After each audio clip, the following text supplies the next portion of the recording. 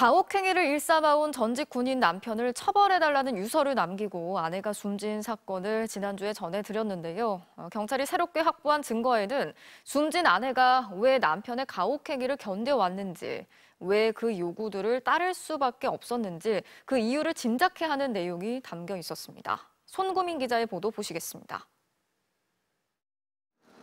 전직 군인 남편의 괴롭힘을 폭로하고 숨진 임모 씨의 유족이 오늘 국방부를 찾아 진정서를 냈습니다.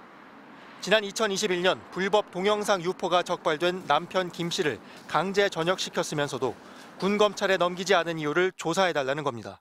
사전에 가족들한테라도 알려줬으면은 이러한 불상사가 없었잖아요. 모든 것을 안이하게 처리해버리면은 수사에 나선 경찰은 아내 임 씨의 휴대전화 분석을 통해 남편이 협박한 구체적인 정황을 확인했습니다.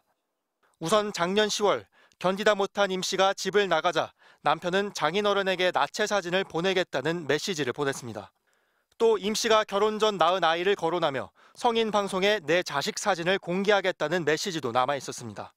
자식 잃은 부모 심정을 지금에서 이제 느꼈어요. 자다가도 벌떡벌떡 일나고 일나가지고 앉아있으면 눈만 흘리고 사는 게 아니에요, 진짜. 경찰이 입수한 아내 임 씨의 성인 방송 출연 계약서입니다. 소속사가 BJ 사생활에 관여할 수 있다.